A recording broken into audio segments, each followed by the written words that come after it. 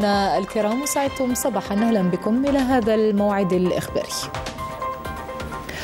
بداية تحيي الجزائر اليوم العالمي للوقاية من الفساد ومكافحته المصادف للتاسع ديسمبر من كل سنة. وبهذه المناسبة تنظم اليوم الهيئة الوطنية للوقاية من الفساد ومكافحته بالشراكة مع مكتب برنامج الأمم المتحدة الإنمائي بالجزائر. تنظم لقاء تحت عنوان الشبكة الوطنية للنزاهة آلية لدعم المجتمع المدني. والجزائر من بين الدول التي اتخذت جملة من الإجراءات والتدابير للوقاية من الفساد.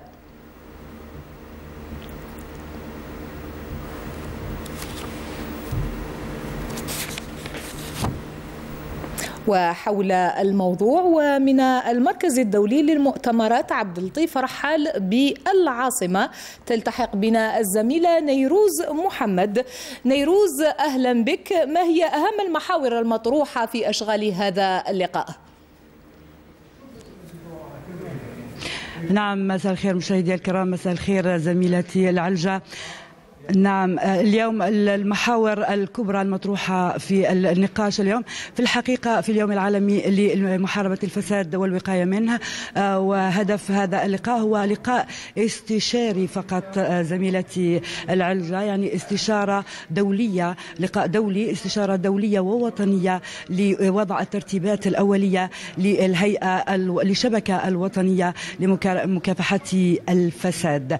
إذا هذه الشبكة تعتزم على دور المجتمع المدني كحجر زاوية وحجر أساس في مكافحة الفساد والوقاية منه حيث جاءت مداخلة السيد رئيس الهيئة أن المجتمع المدني هو حجر الزاوية وتكون هناك الجمعيات لها دور كبير في التبليغ عن الفساد وأيضا الإعلام دور الإعلام أيضا في التبليغ عنه وأيضا هناك المؤسسات العمومية والمؤسسات الخاصة يعني المجتمع ككل معني بالتبليغ عن الفساد. وهناك أيضا قال محاور كبرى أيضا أولا زرع ثقافة نبذ الفساد أيضا ثقافة التبليغ عنها أيضا الإعلام ينبغي أن يلعب دوره. يعني كل هذه الحيثيات هذه الاستشارة الدولية يعني عن طريق تحاضر عن بعد وأيضا المختصون الذين حضروا إلى القاعة سيجدون الكيفيات الكفيلة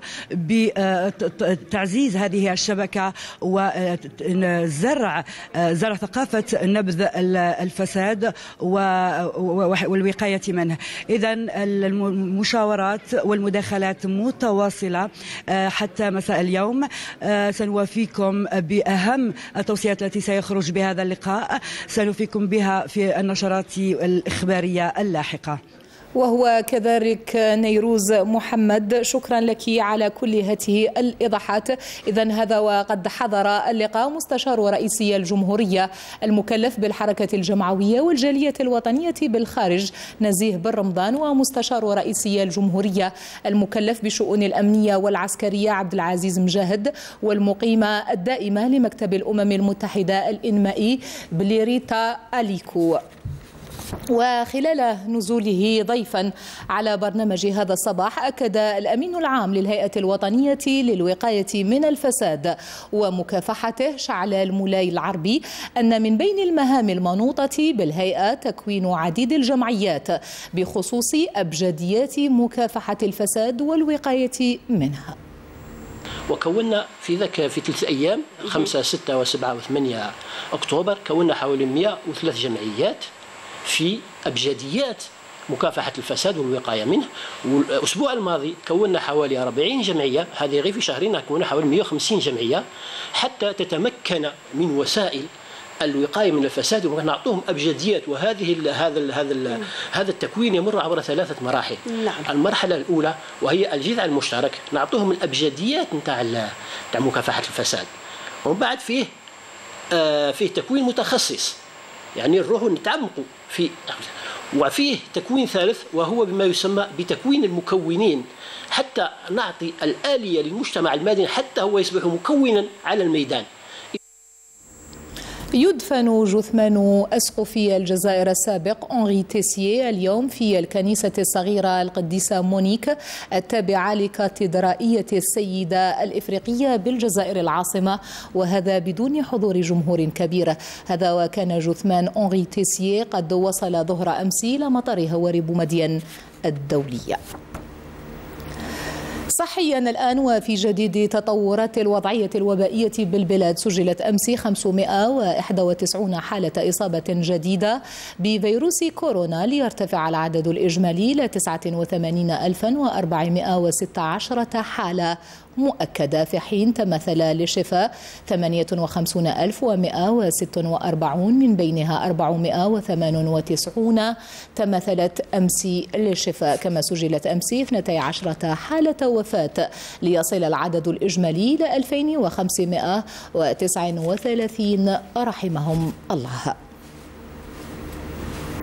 تنمويا تحظى مناطق الظل بولاية تلمسان باهتمام خاص لتدارك مختلف الاختلالات التي تشغل بال المواطنين حيث استفادت أكثر من 100 عائلة بمنطقتي زاغن وزاغو من خدمات الغاز الطبيعي محمد سلمية هنا الغربي لولاية تلمسان. تقع كل من منطقة تيزاغن وزاغ النائية اللتان يعاني سكانها الأمرين نظرا للنقص في المشاريع التنموية. أخيرا استفادت أزيد من 100 عائلة من خدمات الغاز الطبيعي لتودع بهذا معاناتها مع اقتناء قارورات غاز البوطان كنا للقرعة خطرة تكرير اللوطو باش تمشي تحوس عليها.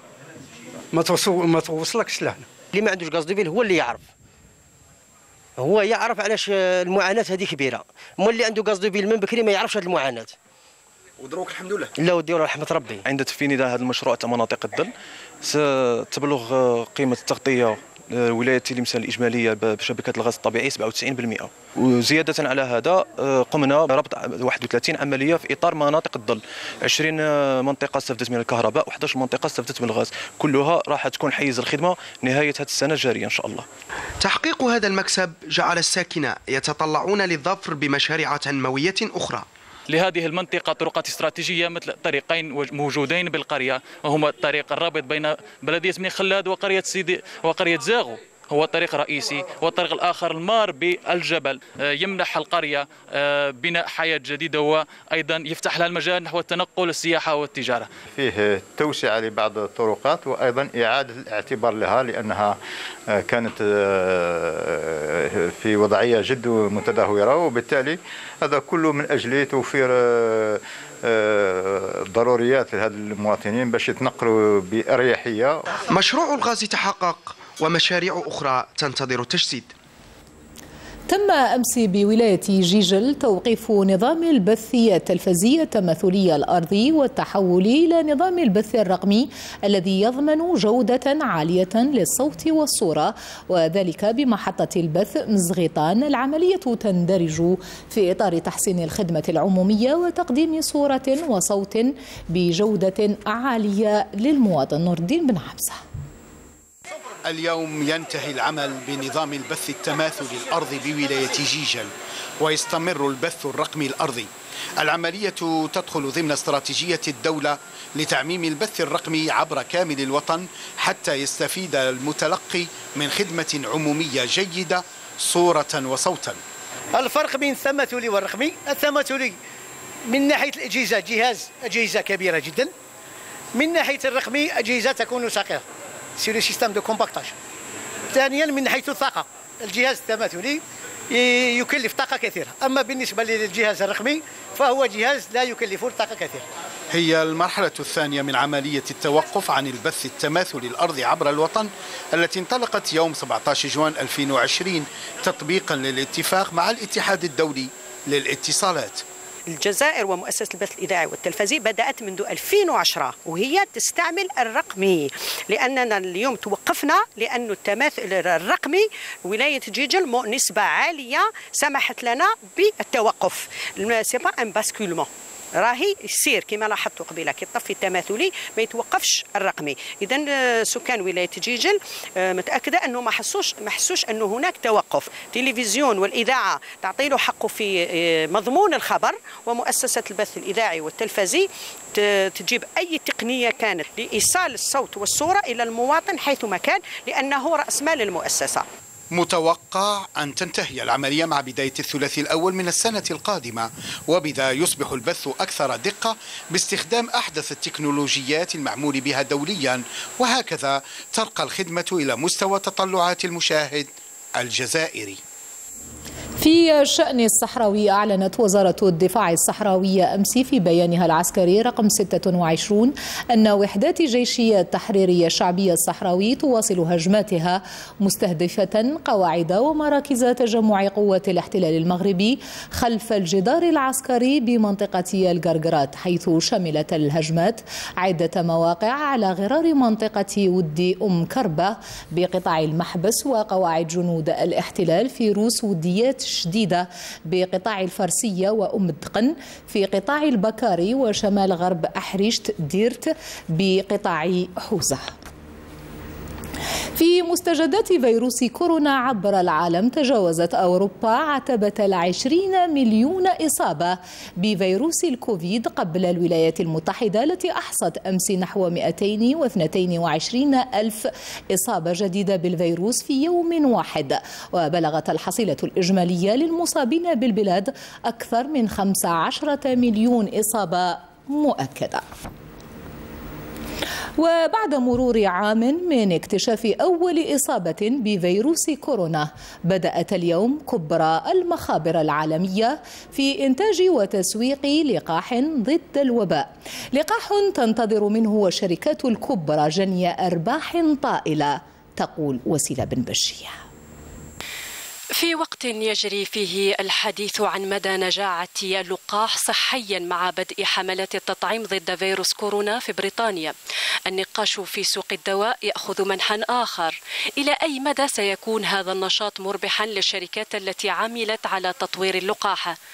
بعد عام من الأزمة الصحية التي يعيشها العالم أعلن أربعة مطورين عن نجاعة لقاحاتها.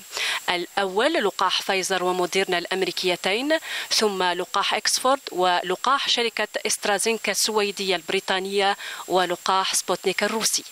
وكانت الأنظار موجهة إلى شركتي فايزر وموديرنا الأمريكيتين لتكون لها الحصة الأكبر في سوق الدواء لكن لقاحاتها باهظة الثمن.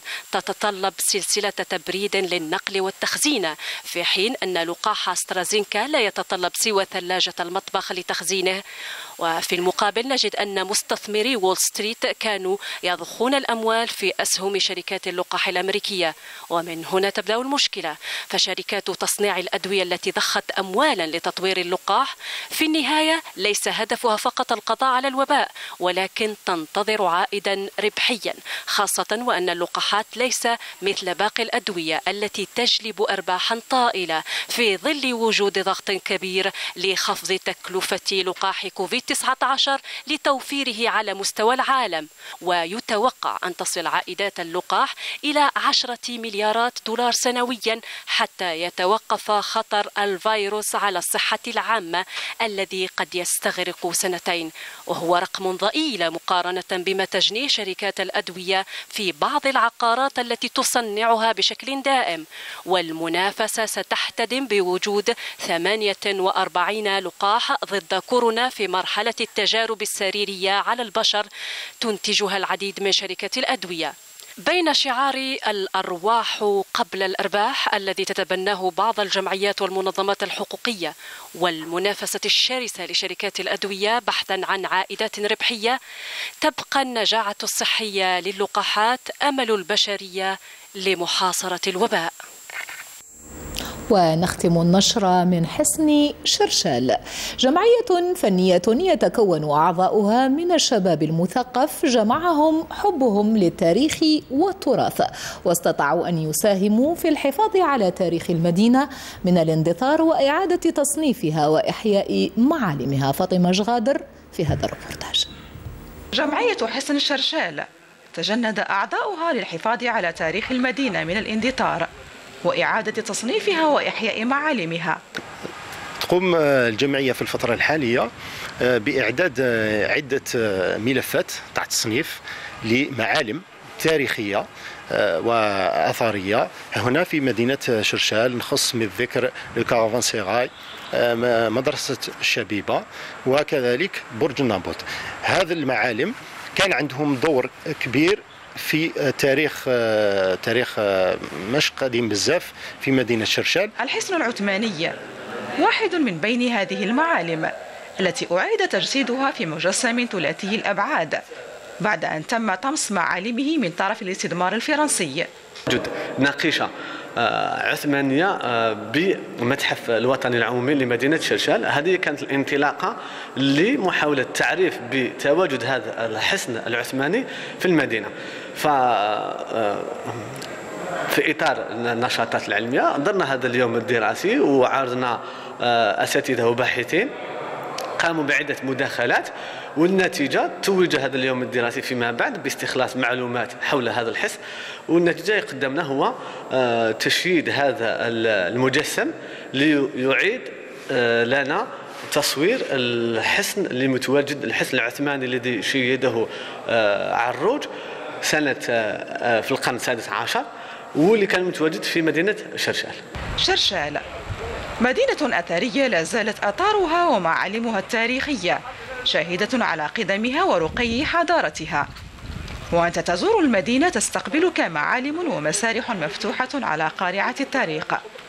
تحكي أسرارا لا زالت غامضة إلى يومنا هذا. بسحر شرشال نصل إلى الختام. شكرا لكم على كرم الإصغاء والمتابعة. ألقاكم بخير.